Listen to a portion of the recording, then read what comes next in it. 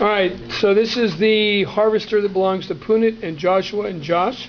Um, So, Punit, you want to explain how this works? So what it is is the nuts or marbles go through the conveyor belt and into um, the, another conveyor pad, and a flashlight passes through a light sensor, and when the gems pass through it, it'll be able to sense sense it which um, basket. Point out to the, the light sensor. Where's the light sensor? the light light sensor? sensor's right here. Okay, and is there, a- wh- how- what uh, splits the, the nuts into its, its We have a servo motor. There's a servo. Okay, show the little bar that's attached to the servo. This is the bar that will. Okay, all right, so the servo's over here, and then this, this, uh, it's right, it's this bar right here, Yes. right? Okay, all right, and then where, which, which uh, bin does which go in? The black um, gems go in here, and the and and, the white clear, go okay, all right, clear. all right, go.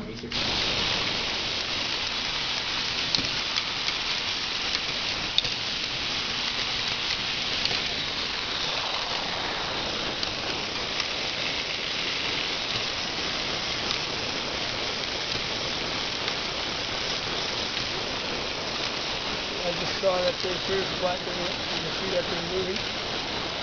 Clear when it stays where it is.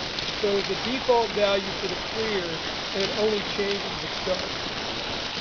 It doesn't have to change for both of them, only change for one. Now, you got, you're gonna have a little problem here as it switches tables though, right? Didn't we talk about this before? It's not a big deal, it's just that's the way the tables are. Okay.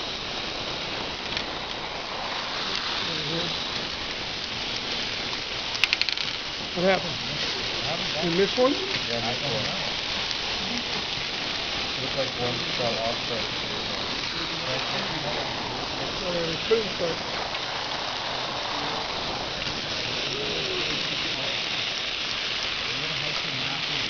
All right. So, hang on, hang on. So it looks like all of them are in the right place. Right on.